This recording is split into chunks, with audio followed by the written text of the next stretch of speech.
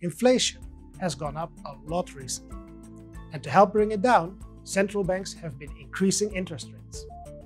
These rising rates affect many aspects of our daily life, from how much we pay for our car loan to how much our money is worth. For instance, when interest rates go up, the value of a country's currency, or your money, usually also goes up relative to the value of other currencies. Why does that happen?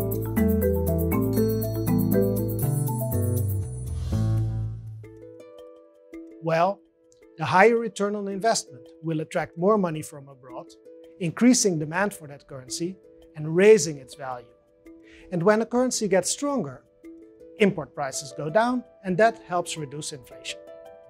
To give you a better sense of how this plays out, let's look at what happened last year with the US dollar. The Federal Reserve made the steepest series of rate hikes in more than two decades, raising its policy rates seven times in 2022. This was needed to bring inflation under control and keep the US economy stable. The higher interest rates boosted returns on US assets, increasing demand for the dollar and raising its value relative to other currencies. And that had a global impact, because about half of world trade, including oil, is invoiced in dollars. So what does that mean for the rest of the world?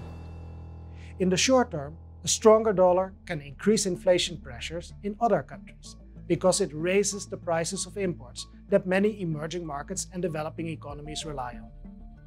And for economies with high dollar denominated debt, a rising dollar can weaken economic growth or even cause debt distress or financial crises.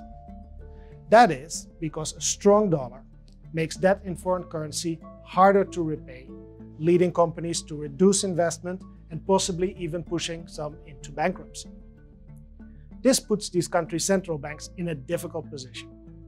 They need to raise interest rates to address inflation, even though that poses risks to growth and financial stability.